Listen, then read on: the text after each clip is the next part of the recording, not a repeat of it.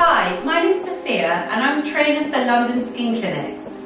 I'm here to talk about Préime treatment and the five technologies that it offers. This treatment is targeted for dehydrated, sensitive skin, pigmentation and aging. The five technologies we have here, um, first of which is hydro microdermabrasion.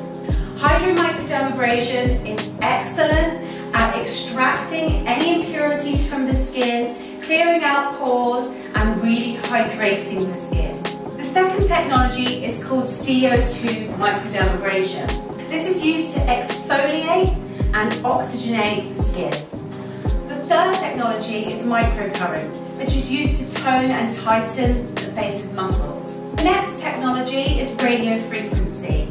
This heats up the skin in order to encourage collagen production in the skin, to improve the skin structure. And finally, we have the ultrasound.